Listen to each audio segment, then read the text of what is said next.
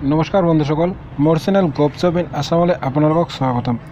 আজি আমি কথা পাতিম ডি চি অফিচ তিনিচুকীয়াত মুকলি হোৱা হেড এছিষ্টেণ্ট পদটোৰ বিষয়ে। ডি চি অফিচ তিনিচুকীয়াত মুকলি হোৱা পদকেইটা এনেকুৱা ধৰণৰ name of post head assistant আৰু নাম্বাৰ অফ পষ্ট দুইটা। এলিজিবিলিটি কেণ্ডিডেটজন ছিনিয়ৰ এছিষ্টেণ্ট হিচাপে দহ বছৰ কাম কৰাৰ এক্সপিৰিয়েঞ্চ থাকিব লাগিব। চেলাৰী বাইছ হাজাৰ টকাৰ পৰা eighty seven thousand per month আৰু ইয়াৰ গ্ৰেড পে'টো হৈছে দহ হাজাৰ তিনিশ টকা পাৰ মান্থ। ইয়াৰ বাবে এপ্লিকেশ্যন ফিজ দিব নালাগে। এপ্লাই মেথডটো হৈছে অফলাইন মানে ইয়াৰ বাবে আপোনালোকক অফলাইন এপ্লিকেশ্যন ফৰ্ম জমা দিব লাগিব। How to apply in D C office Tinsukia recruitment two thousand eighteen interested কেণ্ডিডেটসকলক ইয়াৰ বাবে অফলাইন এপ্লিকেশ্যন ছাবমিট কৰিব লাগি লাগিব।